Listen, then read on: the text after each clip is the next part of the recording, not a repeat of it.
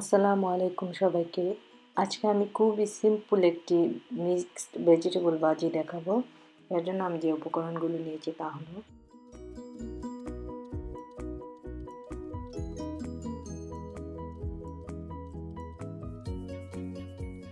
Five hundred গ্রামের মতো mix vegetable নিয়েছি। একটি আনিয়ন চপ করে নেওয়া half a teaspoon turmeric powder কিছু পাঁচফোড়ন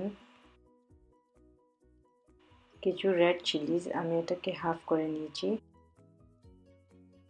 কিছু কোরিয়ান্ডার লিভস নিয়েছি। স্বাদ অনুসারে লবণ।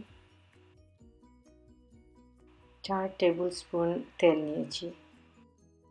এর মধ্যে আমি তেলটি দিয়ে দিব পাঁচফোড়ন দিয়ে দিব, আর রেড চিলিটা দিয়ে এটাকে কিছু সময় ফ্রাই করে নেব।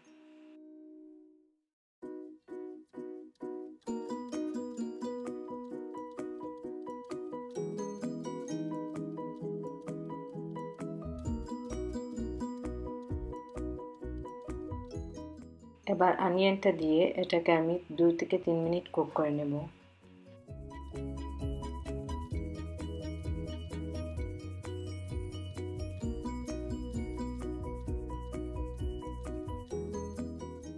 ভেজিটেবলটা দিয়ে দিব আর টামারিক পাউডার আর স্বাদ অনুসারে সল্টটা দিয়ে এটাকে ভালো করে মিশিয়ে লো ফ্লেমে তিন থেকে চার মিনিট কুক করব।